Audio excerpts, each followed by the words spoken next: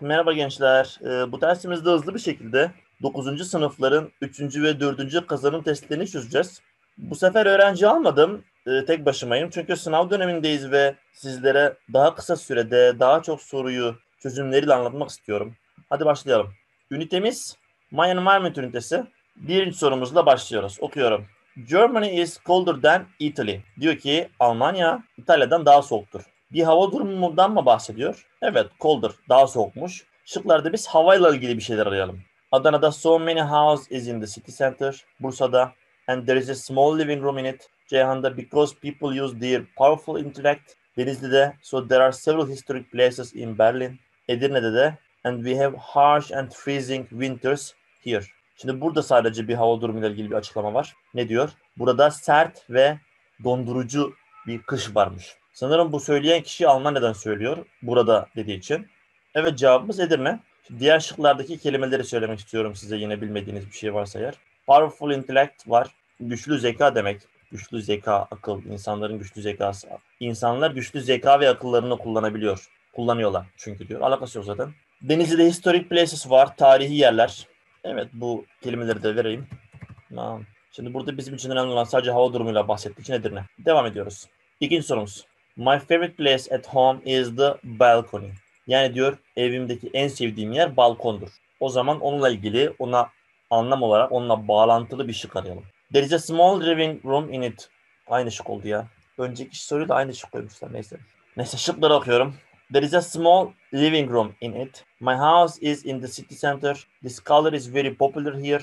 It has the view of the park. We have long winters and short summers. Evet balkoni yani balkonu ilgilendiren tek şıkkımız Denizli. Park manzarası varmış balkonun. Diğer şıklarımız balkonla bir alakası yok. Bursa'da evim şehir merkezinde diyor. Adana'da içinde küçük bir salon varmış diyor. Balkonda küçük bir salon olmaz. Ceyhan'da bu renk çok popülermiş diyor. Bu da olmaz. Bizim uzun kışlarımız ve kısa yazlarımız var diyor. Ee, bu da olmaz. Balkonla alakalı sadece Denizli şıkkı var.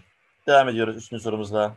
Liz diyor ki Do you know anything about a traditional Chinese house? Yani diyor ki geleneksel bir Çin evi hakkında ne biliyorsun? Bir şeyler biliyor musun? Geleneksel bir Çin evi. Çinlilerin evleri nasıldır diye soruyor yani. Kendi evlerle alakalı açıklama yapacak. Bakalım ne diyor. Chinese don't like old buildings. I don't live in a traditional house. I prefer living in a traditional building. Chinese live in modern buildings in cities. It is a compound with walls and dwellings. Geleneksel bir Çin evini anlattığı yani evi alakalı açıklama yaptığı tek şık Edirne şıkkı. Zaten itiz ile başlamış.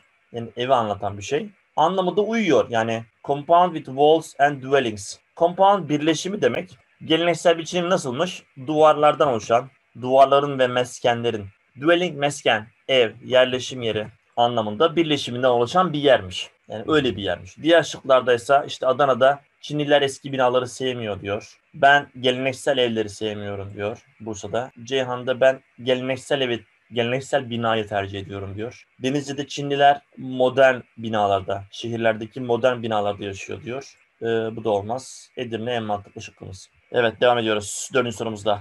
Thomas ve Larry konuşuyor. Thomas. Thomas ve Larry konuşuyor. Thomas bir soru soruyor. Larry de I'm a newbie too. We had better ask a tourist information center. Diyor ki ben de burada yeniyim.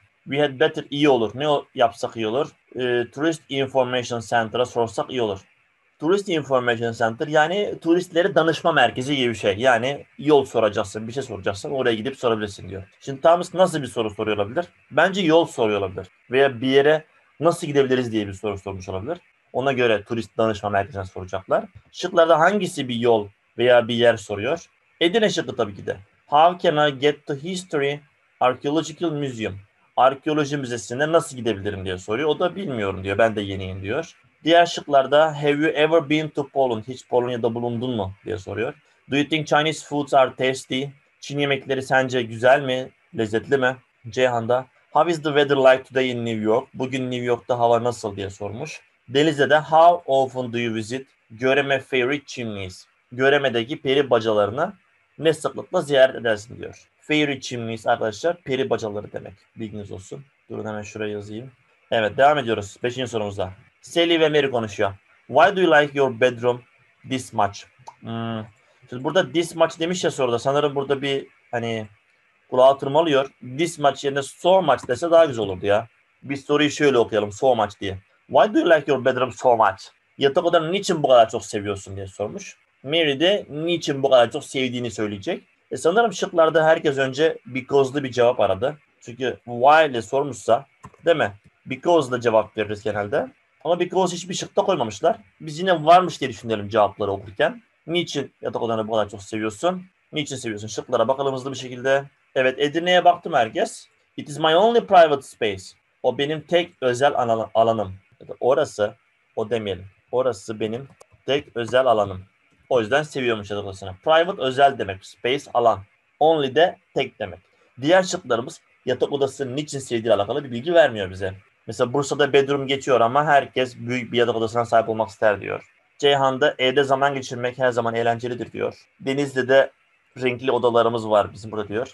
Adana şıkkıda insanlar eski binaları, büyük odalı eski binaları severler diyor. Cevap o yüzden Edirne. Devam ediyoruz. 6. The majority of home owners. Ne demek? Home owner ev sahipleri. Ev sahiplerinin çoğunluğu, the majority. Çoğunluğu demek. Ev sahiplerinin çoğu, ev sahiplerinin çoğunluğu, çoğu ikisi de olabilir. Çoğu veya çoğunluğu ne yaparlarmış? Bakalım. Tend to stay in their homes for six years before moving. Can still see cottages built with thatched roofs. Live in dome tents called gels or yurts. Always prefer wooden furniture. Live in caves even today. Şimdi burada biraz e, bilinmeyen kelimelerimiz fazla. Ben hepsini size söyleyeceğim. Önce cevabı söyleyeyim ondan sonra diğer şıkları açıklayalım. Ev sahiplerinin çoğu ne yapabilir? Always prefer wooden furniture. Bu olur mu? Olur. Şimdi anlamını yazacağım şık şık hepsi teker teker. Çoğu zaman yani always her zaman wooden furniture tercih eder. Wooden furniture ne demek? Ahşap mobilyalar. Always prefer wooden furniture. Her zaman ahşap mobilyalar tercih ederler. Her zaman. Kelime kelime yazayım isterseniz üstüne. Prefer tercih demek. Wooden ahşap. Furniture da mobilya. Her zaman için ahşap mobilya tercih eder. Doğru. Edirne şıkkına bakalım. Live in caves even today. Bugün bile mağaralarda yaşar diyor. Bu yanlış bir bilgi. Öyle bilgi yok. Cave mağara. Even bile. Bugün bile mağaralarda yaşarlar. Ceyhan'da live in dome tents called jails or yurts. Bu jails ve yurts'a baktım ben arkadaşlar. Bu bizim Orta Asya'daki göçebeler, Türk ve Moğol göçebelerin kaldıkları çadıra verilen bir ad. Onların Türkçe de ismi böyle geçiyor. Soru hazırlayan arkadaşın herhalde tarih bilgisi iyiymiş. Dom, tents, kubbeli çadır demek. Değişik bir kubbeli böyle daha çok sazlık, kamış gibi yapılan şeylerden çadırları var. Onun için verilen adlar bu şekildeymiş. Bursa şıkkında can still see cottages built with thatched roofs şıkkında e, kulübe demek cottage. Hala kulübeler görebilirler. Ev sahipleri hala kulübe görebilirler. Nasıl kulübelerden? Built with thatched roofs. Yani e, çatısı şeyden böyle sazlık, kamış. Thatch sazlıklı. Böyle daha çok Afrika'da yerel kabilelerin kaldığı şeylerden bahsediyor. Onların çatı demek roof. Bu tip çatılı kulübeler görebilirsin diyor Bursa şıkkı. Adana şıkkıysa tend to stay in their homes for six years before moving. Taşınmadan önce before moving taşınmadan önce 6 yıl kalırlarmış evlerinde. 6 yıl kalmak isterlermiş. In their home for six years. Tend istemek, niyet etmek anlamında. Yani ev sahiplerinin çoğu 6 yıl kalmalarını istemeleri biraz saçma oldu bu şık. Ha yapı olarak aslında oluyor ama tabii Denizli şıkkı varken Adana şıkkına bakmamıza gerek yok. Evet adamların hepsini yazdım. Bence arkadaşlar bu soruyu ekran fotosu alın. İçinde bolca bilinmeyen kelime var. Sonrasında not alırsınız. Devam ediyoruz 7. sorumuzda. Bu bir çeviri sorusu arkadaşlar. Showing friendly manners towards your neighbors will earn your respect in your relationships with them. Şimdi parça parça size Türkçesini söyleyeyim. Komşularına karşı arkadaşça bir tavır göstermek diye başlamış cümle. Will earn your respect. Sana saygı kazandıracaktır. Will earn your respect. Nerede? Hangi durumda saygı?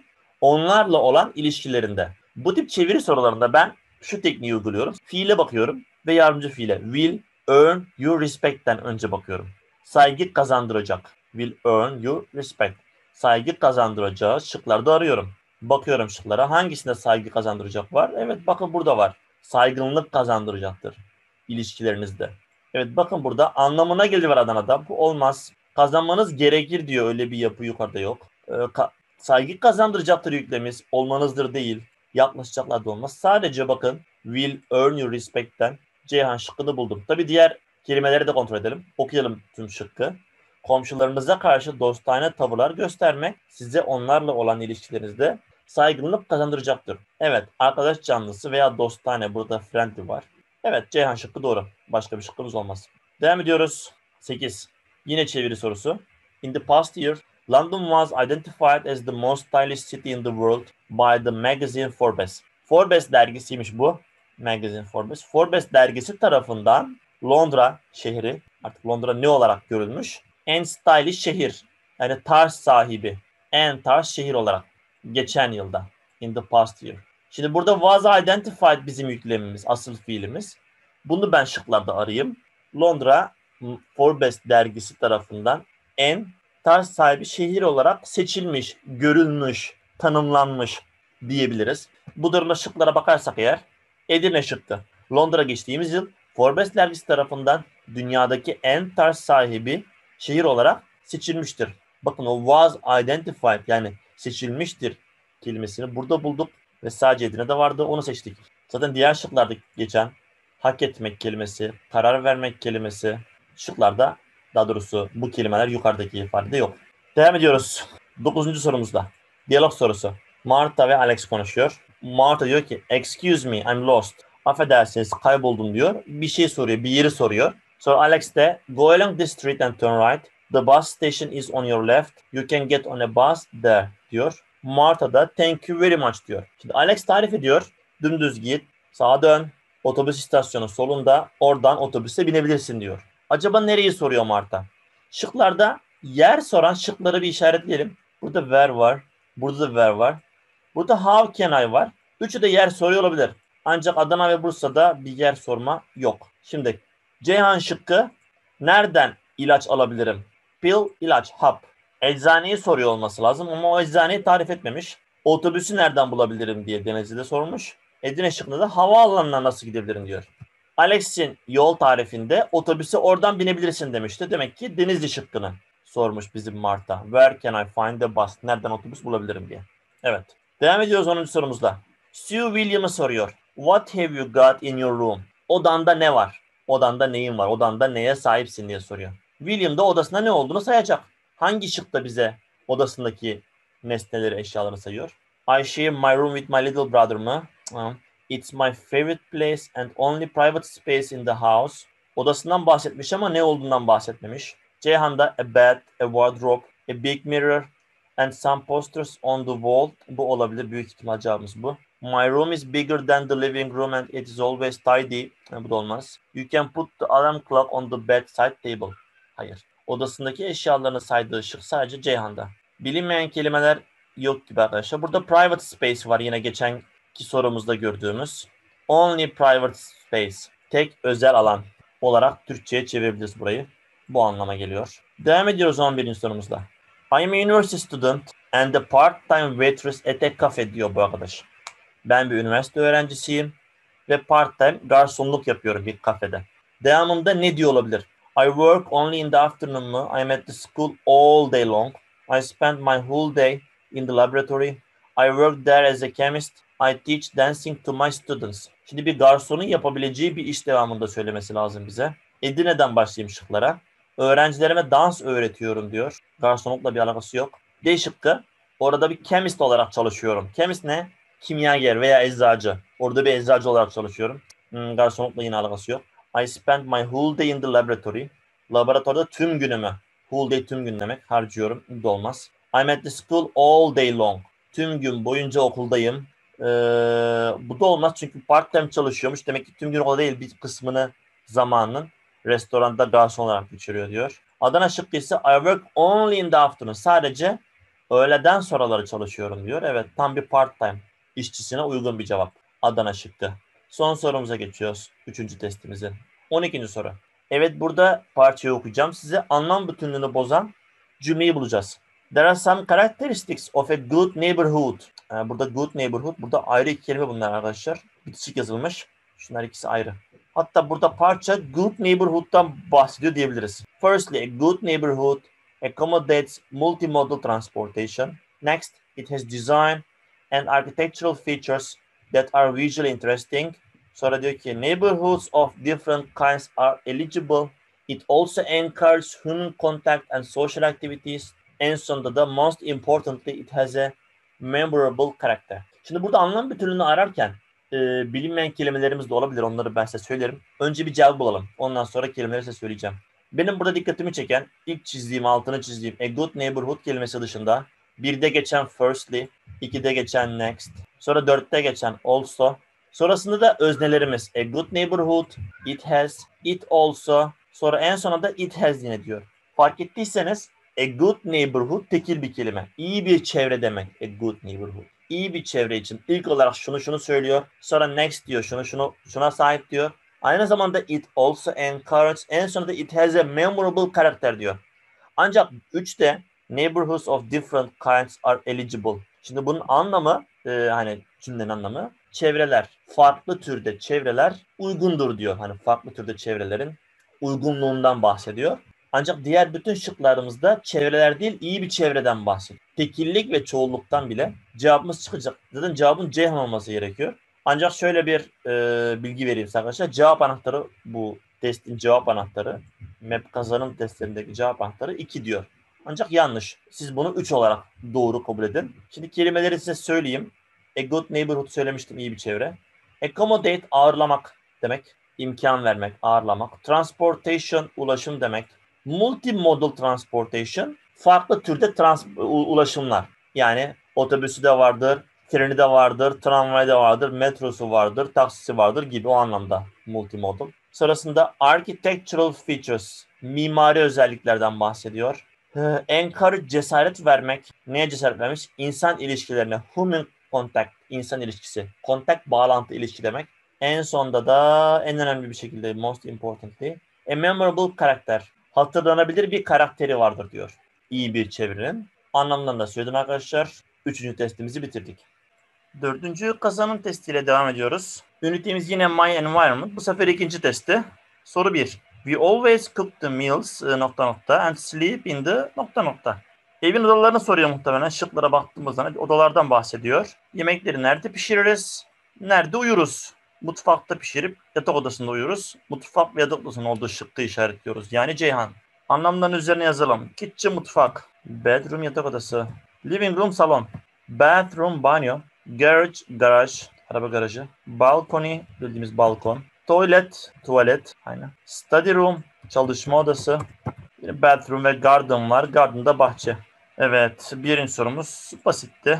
Devam ediyoruz ikinci sorumuzda. We park our car into the nokta nokta and we have a shower in the nokta nokta. Arabamızı nerede park ederiz? Nerede banyo yaparız veya duş alırız? Tabii ki de garajda arabamızı park ederiz. Banyoda banyo yaparız. o da Bursa'da var. Bu odaları demin yukarıda yazmıştım. Yukarıda yazmadıklarında ne var? Hall var. Hall. Türkçe'de hall kullanılıyor. Giriş anlamına geliyor. Devam ediyoruz. Üçüncü sorumuzda. My bedroom is nokta nokta than yours. Hmm. Burada bir karşılaştırma var. Şıklarda geçen kelimemiz small. Small küçük demek. Benim odam seninkinden. Yours seninki demek. Buradaki den de yine dendan. Yani Türkçedeki den eki anlamına geliyor. Seninkinden daha küçük demesi gerekiyor. Burada the smallest en küçük demek olmaz. Deniz şıkkı smaller daha küçük. Seninki kadar küçük. Kadar küçük olur. Nokta nokta kadar küçük. Ancak orada den olmazdı. O yüzden Edirne şıkkımız olmaz. Seninkiden daha küçük diyeceği şık Denizli. Smaller than yours. Evet. Devam ediyoruz dördüncü sorumuzda. Jeremy bir şey diyor. I look forward to taking my Foça trip because I can see the first Foça International Archaeology and Heritage Film Days. Dört gözle bekliyorum diyor Foça gezintisine. Look forward to bir şeyi dört gözle beklemek, heveslenmek. Çünkü orada Foça'da ilk defa yapılacak olan bir film festivali. Konusu Archaeology and Heritage olan bir film festivali varmış. Şimdi aşağıdaki soruya bakalım. She looks forward to taking Foça trip because. Niçin dört gözle bekliyordur? Şıklara baktığımız zaman evet Edirne şıkkı. There is an organization and she can attend it. Bir organizasyon var ve ona katılabilir. Attend katılmak. En mantıklı şıkkımız bu arkadaşlar. Tabii ben bu soruları önceden baktığım için cevapları hızlı söyleyebiliyorum. Siz soruları inceleyip cevaplarıyla bakabilirsiniz. Şimdi Adana şıkkı. She hasn't been to Foça before. Daha önceden Foça'ya gitmemiş hiç diyor burada. Foça'nın kendine has kültürel mirası var. Unique cultural heritage. Eşsiz kültürel miras demek. Eşsiz kültürel miras. She will meet with her best friend. En arkadaşlarıyla buluşacak diyor. She loves visiting historic places in Foça. Foça'daki tarihi yerleri ziyaret etmeyi seviyor diyor. Evet. En mantıklı şıkkımız Edirne. Çünkü orada bir organizasyon var. O da burada. International Archaeology and Heritage Film Days. Devam ediyoruz. Beşinci sorumuzda. Terry ve Jack konuşuyor. I'm going to Italy next week diyor. Önümüzdeki hafta İtalya'ya gideceğim. Jack de bir soru soruyor. Terry de not long, just two days. Çok değil, sadece iki gün. Not long, yani uzun değil. Çok değil. Just two days. Sadece gün. Ne soruyor olabilir? Ne kadar kalacağını soruyor olabilir değil mi? Ne kadar süre kalacaksın ya da kaç gün kalacaksın gibi bir şey soracaktır. Denizli çıktı. How long are you going to stay there? Ne kadar süre orada kalacaksın? Şimdi şıklardaki soru kelimelerini size söyleyeyim. When ne zaman demekti? Ne zaman döneceksin diyor. Sadece iki gün diye bir cevap veremeyiz. How often ne sıklıkla gidersin diyor. Burada yurt dışına diye soruyor. O da bu şekilde olmaz. Bu da ne zaman sormuş. Bu da ne kadar? Ne kadar para harcayacaksın diyor. Diğer şıklarımız olmaz. Bu yüzden 5 denizde. Devam ediyoruz. Altıncı sorumuzda. David ve Kevin konuşuyor. David diyor ki What is the best time to visit Antalya? Antalya'yı ziyaret etmek için en uygun zaman ne zamandır? Diyor burada soru işareti eksik unutmuş arkadaşlar. Hemen koydum ben soru işaretini. Summer diyor of course. Tabii ki de yazdır diyor. O da niçin diyor? Çünkü yazın niye güzeldir Antalya? Size sorayım arkadaşlar. Malum öğrenciyle yapmıyorum ama yine soru sorma ihtiyacı duyuyorum. Evet güneş var çünkü. Sıcak çünkü. Güneşi var. Böyle büyüleyici bir güneşi var Antalya'nın. Bu yüzden güzeldir. O da Edirne'de var. You can see dazzling sunshine at that time. Dazling'in böyle güzel, büyüleyici anlamı var. Diğer şıklarda Antalya'yı niye sevdiğine dair bir açıklama yok. İki kez gidiyorum diyor Adana şıkkı. Ayda iki kez giderim. Beraber gidebiliriz. İnsanlar yazları seviyor. Yaz tatillerini seviyor diyor Ceyhan. Denizli'de Ölü Deniz şehir merkezine uzak. E, arkadaşlar Ölü Deniz Fethiye'de. Yani Muğla'ya bağlı Fethiye'de. Antalya değil. Bilginiz olsun. Devam ediyoruz. Yedinci sorumuzla. This is my first trip to Turkey diyor Kim. Tuna'da what do you think about scenery of this country? Den. Bu ben Türkiye ilk gezintin diyor. Tuna da soruyor. O zaman Türkiye'deki manzaralarla ilgili, görüntüyle ilgili ne düşünüyorsun diyor. Kim de bir şey söylüyor. O da ah, that's great, thank you very much. Demek ki Türkiye ile ilgili güzel bir şeyler söylüyor. Zaten what do you think diyorsa bir fikrini söylüyordur. Bakalım. People are very kind and hospitable. İnsanları çok kibar ve misafirperver. Hospitable, misafirperver demek. Şimdi burada Türkiye'deki manzaralarla alakalı bir cümle yok. I want to have a long holiday in Antalya. Antalya'da uzun bir tatil istiyorum diyor. Hmm, bu da olmaz. Some streets are very crowded than my hometown. Bazı caddeleri çok kalabalık diyor benim yaşadığım yere göre. E, bu da olmaz. Güzel bir şey söylemesi lazım. Denizli, bence diyor I think Türkiye'nin has an excellent cuisine and it's tasty. Güzel bir şey söylüyor da ne diyor? Mükemmel bir mutfağı var diyor. Excellent cuisine ve çok lezzetliymiş bu. Ee, burada güzel bir şey söylüyor ancak manzarasıyla alakalı bir bilgi yok. Ama yine bekletelim Denizli. Edirne şıkkı. I found this country stunning and the wonderful colors attracts me. Ben bu ülkeyi büyüleyici buluyorum. Stunning de deminki dazzling anlamına benziyor. Etkileyici, büyüleyici anlamına geliyor. Ve muhteşem renkleri beni cezbediyor. Bu Türkiye'nin genel şeyiyle scenery buradaki manzarasıyla alakalı bir cümle olabilir evet. Denizli mi Edirne mi diye bakacak olursak şahsen ben Edirne'yi seçerim. Zaten cevap anahtarı da Edirne diyor. Evet arkadaşlar devam ediyoruz 8. sorumuzda. Harry ve Daisy konuşuyor. Harry bir soru soruyor. Daisy de twice in a month. Ayda iki kez diyor. Nasıl bir soru soruyor olabilir? Bir şeyi ne sıklıkla yaptığını sorar değil mi arkadaşlar? Twice in a month diyorsa. Ayda iki kez diyorsa ne sıklıkla yapıyor demesi gerekiyor. Ne sıklıkla sorusu how often da var. Diğer videolarımdan izleyen arkadaşlar görmüşlerdir. Bu soru kalıplarını bayağı bir anlattık, işledik. Yine söylüyorum. Ne sıklıkla tiyatroya gidersin? Ayda iki kez. Evet başka da bir şıkkımız zaten yok. Where var? Nerede? diye soruyor. What? Ne? How? Nasıl? What time'da ne zaman? Evet. 9'a geçiyoruz hiç beklemeden. Andy ve Deichi. Deichi diye mi okunuyor acaba bu? Neyse. Andy ve Deichi. Andy diyor ki You don't have lots of things in your bedroom. Yatak odanda çok bir şeyin yok diyor. Çok bir eşyan yok. You don't have lots of things. Lots of things çok eşya. Çok şey. Çok eşyan yok diyor. Ne diyor olabilir acaba Deichi bakalım. We have everything we need in a garden. It is designed with traditional materials. It should look simple. It's a tradition. They make people feel comfortable. This is bigger than the former one. Ee, yatak odanda çok şeyin yok diyor. Her şeyimizi bahçeye koymuşuz. İhtiyacımız olan her şey. Bahçede var diyor Adana şıkkı. Bursa şıkkı geleneksel malzemelerden yapılmış diyor. Bursa olmaz. Adana beklesin. Ceyhan'da it should look simple, it's a tradition. Basit görünmesi gerekiyor. Bu bir gelenektir diyor. Hmm, bu olabilir. They make people feel comfortable. İnsanların rahat görünmesini sağlıyor diyor. Dediği şey ne? Eşyalar mı? Yok ki eşya. Bu da olmaz. This is bigger than the former one.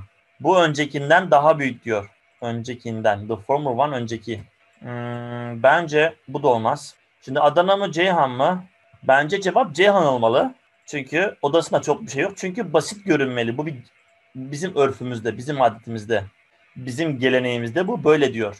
Tradition gelenek. Muhtemelen bu bir uzak doğu geleneklerinden biridir. Odaları onların sadedir. Ancak cevap anahtarı arkadaşlar size söyleyeyim 9. soru için Adana diyor. Ancak ben Ceyhan'ı düşünüyorum doğru cevap olarak. Adana ne diyor? Bizim her şeyimiz bahçede. İhtiyacımız olan her şey bahçede. Niçin yatak odasında olmadığına dair bir açıklama yok eşyalarının. Bahçeyle yatak odasıyla ilgili bir bağlantı kuramadım ben. Ceyhan olarak kabul ederim bunu. Gençler. Okey. Devam ediyoruz 10. sorumuzda. Jeremy ve Müller konuşuyor. Why do you like living in Vaduz so much? Neresi bu Vaduz? Vaduz diye okunuyor ben buna baktım arkadaşlar. Bu bir şehir. Liechtenstein diye bir ülke var Avrupa'da. Ortalarda bir yerde. Bunun başkenti. Buraya da yazayım. Liechtenstein ülkesinin başkenti. Değişik bir şehir. Çok duyulmadık bir şehir. Niçin bu şehri bu kadar çok seviyorsun diye soruyor. Müller de ne cevap verir? Güzel bir şey söylemesi lazım değil mi? Bu şehri sevdiğine göre. Güzel bir şey nerede? Hangi şıkkımızda var? Bakalım hemen. Düşündüğün kadar yeşil değil diyor. Güzel bir şey değil bu. Büyük şehirlere kadar kalabalık değil diyor. Olabilir. Orada her zaman trafik sıkışıklığı var. Hmm, olmaz. Ee, Denizli şıkkında da orada yaşamak isteyip istemeyeceğini merak ediyorum. I wonder diyor. Edirne'de de her zaman sen büyük bir şehirde yaşamak istersin diyor. Arkadaşlar sadece Bursa'da şehri niye sevdiğine dair bir açıklama var. O da ne diyor? Büyük şehirler kadar kalabalık değilmiş. Bu yüzden seviyor. Vadot şehrini. Devam ediyoruz 11. sorumuzda. My bedroom is nokta nokta yours. Bakın yine bir kıyas var. Demek soruya benziyor. Benim odam seninki. Seninki. Seninkinden mi? Seninki kadar mı? Şimdi burada den yok. Seninkinden daha küçük diyemeyiz. Şimdi en küçük diyemeyiz. Çünkü en küçük demen için birden çok oda olması lazım. Odaların en küçüğü dememiz lazım. Burada seninki diyor. Sadece küçük diyor. As small. Smaller as small as. Evet bu sefer as small as işaretlememiz lazım. Çünkü devamında den yok. Smaller olsaydı den koyacaktık. Ondan daha küçük demek için. Ancak den olmadığı zaman my bedroom is as small as yours. Yani odam seninki kadar küçük anlamına geliyor burada. 12. ve son sorumuza geçiyoruz. Alien ve Barry konuşuyor. Hmm, bu soru basit bir soru. There is there are yapısı ile ilgili bir soru.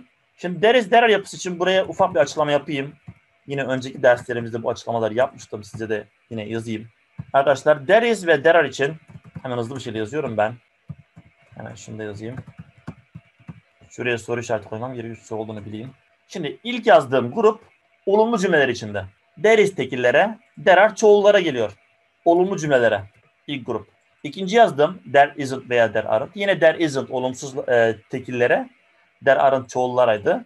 Bu sefer olumsuzlara. Üçüncü yazdığım grup is there ve are there. Yine there tekiller, are there çoğullar için geliyor. Soru cümlelerinde kullanılıyor. Soruya bakalım. Daha doğrusu cümleye bakalım. Eğerlerin cümlesinde soru işareti var. Demek ki ya there ya da are there olacak. Tekil mi çoğul mu? Any living rooms hiç oturma odaları, oturma odası var mı oda, evinde diyor. Living rooms'taki s çoğul yapısı bize are derle kullanmamız gerektiğini söylüyor. Soru olacak bir de. Edirne şıkkı oluyor arkadaşlar. Soru işareti olmasaydı Ceyhan şıkkı olabilirdi. Soru olup tekil bir isim olsaydı izler olabilirdi arkadaşlar. Onun dışında Edirne doğru cevabımız. Evet bu son sorumuzda arkadaşlar. Hızlı bir tur yaptık. Test 3 ve test 4'ü hızlı bir şekilde yapmak istedim. Umarım faydalı olmuştur. İki tane testi komple bir video içinde sığdırmış olduk. Diğer testlerimizi de ben kazanım testlerini bu şekilde yapmaya çalışacağım. Yazılı dönemine kadar ne kadar çok soru görürsek o kadar iyi sizin için. Kendinize iyi bakın. Bir sonraki videolarda görüşmek üzere. Hoşçakalın.